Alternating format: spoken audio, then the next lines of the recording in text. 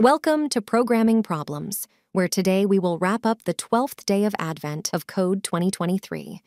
We're almost at the halfway point. Let's start tackling hot springs. As we get higher and higher up during our journey, we need to travel via the hot springs to get to the next level.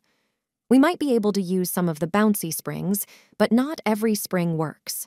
To figure out which spring can be used, we receive condition records indicating which springs are damaged. Operational springs are indicated with a dot, while broken springs are indicated with a hash. For some springs, their state is unknown, as shown with a question mark. On top of that, we know that there are contiguous groups of broken springs, indicated by, for instance, 113.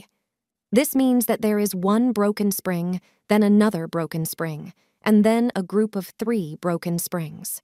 Per record, we can determine the total number of arrangements of operational and broken springs that meet the given criteria. The key question for Part 1 then becomes what is the sum of all the possible arrangements across all records? For starters, here is a complete example with no unknowns. This means that it is a single possible arrangement. This arrangement shows one broken spring on the left, one broken spring in the center, and a group of three broken springs on the right, most edge. Note here that groups must be separated by one or more dots. Here is a very similar example, where we simply have multiple dots in between the groups. Here is the first example again, but with three unknowns at the start. Still, we need to place the three groups of broken springs. Do you see why only one arrangement works? In this example, we need to place groups of size 1, 6, and 5. Note that we must maintain order. The groups of 6 and 5 are already on fixed locations. All that is left is to determine where the group of one spring can go. For this, the following four positions are possible, meaning that this record has four possible arrangements. Lastly, here is an example with 10 different possible arrangements please pause the video to convince yourself that this is indeed the correct number and that you understand why these arrangements are possible. To solve this problem on your own, now is a good moment to go get your own puzzle input from adventofcode.com. Let's continue to the solution. For part one, let's do a brute force strategy to check all possible arrangements. The high level solution outline then looks as follows. We initialize our total to zero, and then we loop over all the lines of data in the input. Per line, we extract the record and the groups that need to be placed, and then we wrap the record with two additional dots. The details of why is something we'll look into later. Then finally, we'll do a recurse depth first search on the record and groups to compute the possible arrangements, which we will add to the total. Parsing the data is fairly simple. Note that instead of storing the groups as a list of integers, we store them as a tuple. Both are valid solutions for part 1. Then, the meat and potatoes of today's part 1. We do the brute force recursively, meaning that we keep solving smaller and smaller subproblems until a problem is so small that the answer is trivial. The subproblem that I've chosen to solve is to see if given a record and a set of groups, it is possible to place the first group such that its last element is at position i. The graph shows it visually. First, we get the record of three question marks and groups 1, 1, and 3. Then, for every position, we can check if we can make the first group end at the index. Since there are seven characters in the record, we have seven possible steps to check. In each of them, I indicate where I'm putting the hash with the black hash sign. Here we see which of these subproblems actually has a valid solution. Only the green states are states which we can try to solve recursively, meaning that we call the exact same function, but with a substring of the original record and a subset of the original groups. The algorithm looks as follows.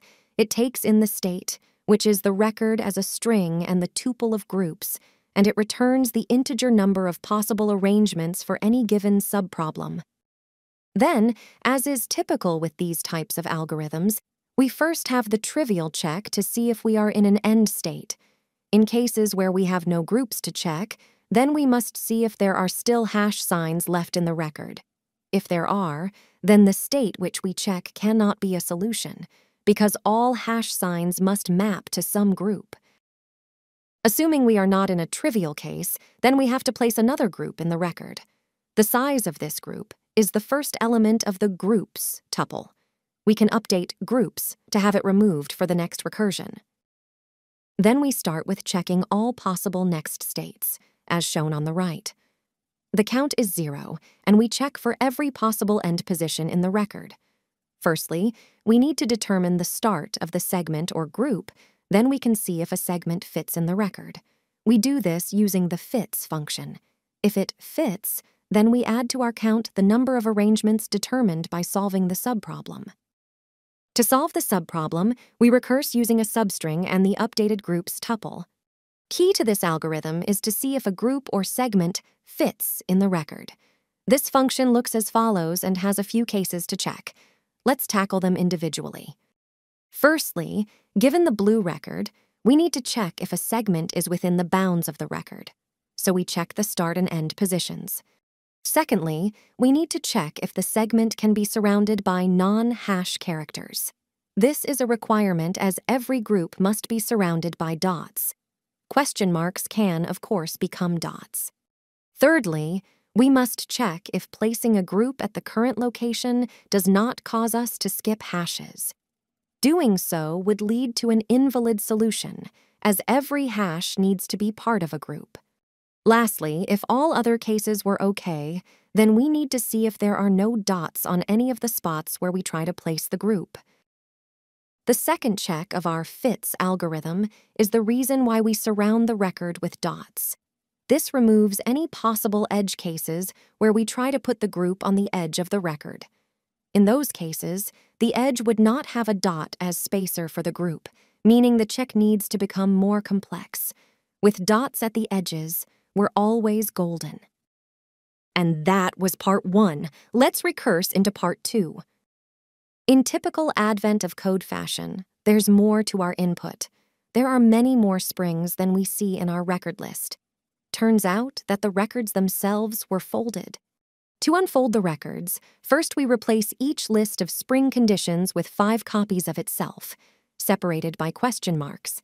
Then, secondly, we replace each list of groups with five copies of itself, separated by commas.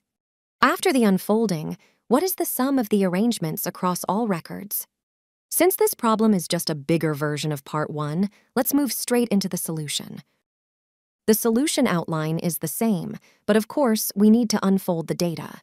So in parse data, we now multiple the record and groups by five, taking into consideration the symbols with which we should join them where necessary.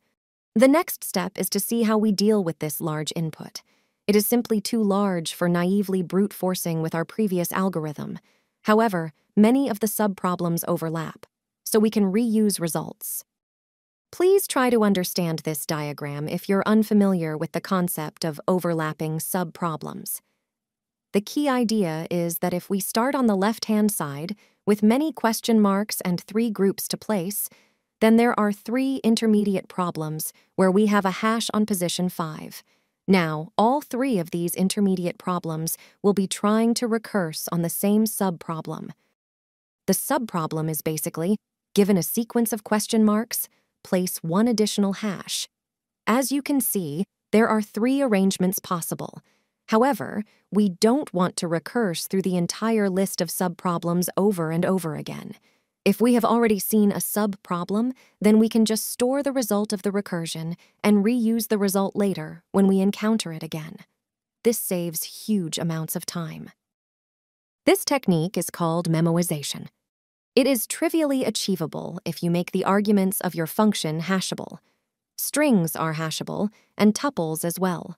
Lists are not, because they are mutable, which is why I opted for tuples already in part 1. Now, if your arguments are hashable, then you can just apply the cache decorator from functools, and that's it. You will solve part two in a very reasonable amount of time. For those of you who are not using Python, fret not. Here's how you can do it without relying on a library. You just need to make sure that your state can be used as a key in some dictionary or map, and then when you enter the recursive function, you check. Is this state already in the map? If so, then return the answer stored in the map. If not, continue with the function. Then at the end of the function, just before returning, make sure that you store the answer in the memo. And that's it once more. Two more stars.